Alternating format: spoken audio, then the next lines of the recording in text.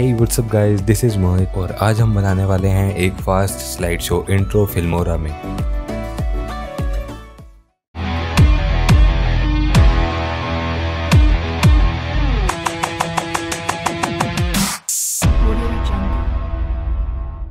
Losing it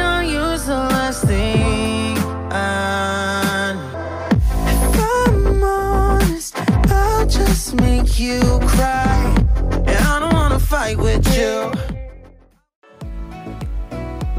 तो सबसे पहले आपको एक फ़ाइल डाउनलोड करनी होगी लिंक डिस्क्रिप्शन में दिया हुआ है। डाउनलोड करने के बाद आपको उसको सिंपली एक्सट्रैक्ट करना है। ओपन करने के बाद आप यहाँ देख सकते हैं कि कुछ फाइल्स हैं। तो सबसे पहले हम लोगो नाम की फोटोशॉप फ़ाइल को ओपन करेंगे। आप यहाँ देख सकते हैं कि एक सर्कल है, आपको उसका साइज़ बड़ा या छोटा नहीं करना है, जैसा है, वैसे का वैसे रहने देना है। चाहे तो इस सर्कल का colour paint bucket tool select करके चेंज कर सकते हैं। सर्कल के अंदर आपको अपना लोगो लगाना है या फिर आप अपना कोई भी टेक्स्ट लिख सकते हैं। और लोगो बनने के बाद आपको इसको dot P N G save करना है। और वापस आइए एक्सट्रैक्ट किए हुए फोल्डर में। और यहाँ आप देख सकते हैं कि एक इमेजेस नाम का फोल्डर है। आपको उसे ओपन करना है। और यहाँ पे कुछ इमेजेस है जो मैंने अपने सैंपल इंट्रो में यूज़ की थी। आप इनको यूज़ कर सकते या फिर आप अपनी खुद की फ़ोटोज़ भी इंट्रो में लगा सकते हो। और यहाँ पर एक फ़ोटोशॉप फ़ाइल है। हम उसमें इन सब फ़ोटोज़ को एडिट करेंगे। यहाँ पर एक ओवरले नाम की लेयर है जो फ़ोटोज़ के ऊपर जो कलर होगा, ये उसी के लिए है। इसकी मैंने ओपेसिटी 20 परसेंट कर रखी है।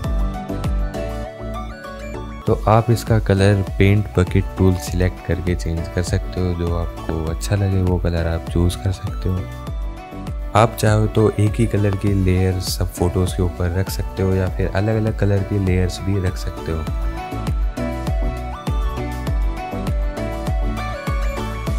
और आप इस टेक्स्ट को कहीं भी लगा सकते हो, लेकिन मैं प्रिफर करूँगा कि आप सेंटर में लगाओ, क्योंकि ये सेंटर में ही ठीक लगेगा।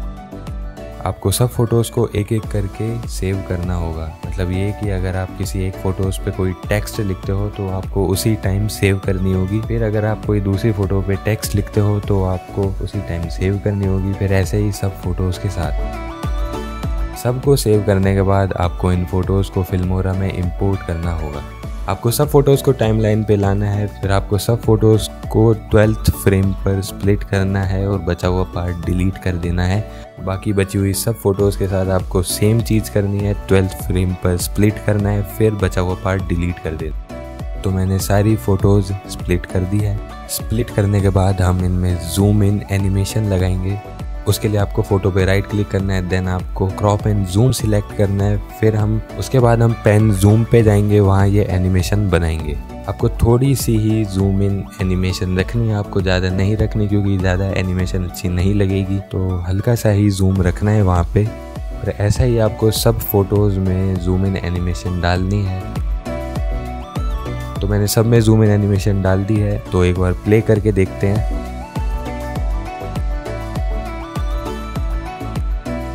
इसके बाद आपको एक वाइट लेयर टाइमलाइन पर लानी है, फिर उस वाइट लेयर को आपको तीन फ्रेम्स पर स्प्लिट कर देना है। स्प्लिट करने के बाद बचा हुआ पार्ट डिलीट कर देना है एंड फिर आपको उस वाइट लेयर की 10 कॉपीज बनानी होगी। को वापस इमेजेस वाले फोल्डर में जाना है, और जो फ़ोटोज़ एडिट नहीं हुई है, उनको फिल्मोरा में इंपोर्ट करना है। फिर हम एक फ़ोटो को टाइमलाइन पर लाएँगे, और वाइट वाली लेयर के आगे रखेंगे। और फिर हम उस फ़ोटो पर राइट क्लिक करेंगे क्रॉप एंड जूम को सिलेक्ट करके हम उस फ़ोटो को 16 इश टू नाइन में क्रॉप करेंगे। क्रॉप करने के बाद हम उस फ़ोटो को चार फ्रेम्स पर स्प्लिट करेंगे। स्प्लिट करने के बाद बचा हुआ पार्ट डिलीट कर देंगे और आपको बाकी सब फ़ोटोज़ को भी ऐसे ही 16 इस टू नाइन पे क्रॉप करना है और चार फ्रेम्स पर स्प्लिट कर देना है। ये सब करने के बाद आपको इस वीडियो को हाईएस्ट क्वालिटी में एक्सपोर्ट करना होगा। एक्सपोर्ट करने के बाद इसे फिल्मोरा में इंपोर्ट कर लीजिए। ओके तो अब वापस एक्सट्रैक्ट हुए फोल्डर में जाएँगे और एनिमेशन नाम की फ़ाइल को फिल्मोरा में इंपोर्ट करेंगे। और फिर जो आपने स्लाइड शो एक्सपोर्ट किया था, उसको टाइमलाइन पर लाएँगे और एनिमेशन नाम की फ़ाइल को हम स्लाइड शो के नीचे वाली लेयर में रखेंगे। तो एक बार प्ले करके देखते हैं।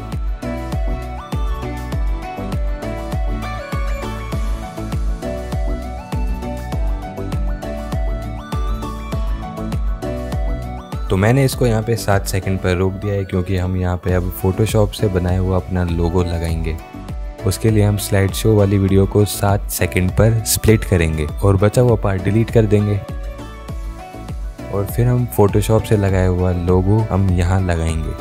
फिर हम जाएँगे ट्रांजिशंस में। इसमें बेसिक में एक डिजोल्व नाम का ट्रांजिशन है। हम इसको राइट साइड में लोगों की तरफ़ लगाएँगे और इसकी ड्यूरेशन हम एक सेकंड कर देंगे। और फाइनली आपका fast slide show intro ready हो गया है।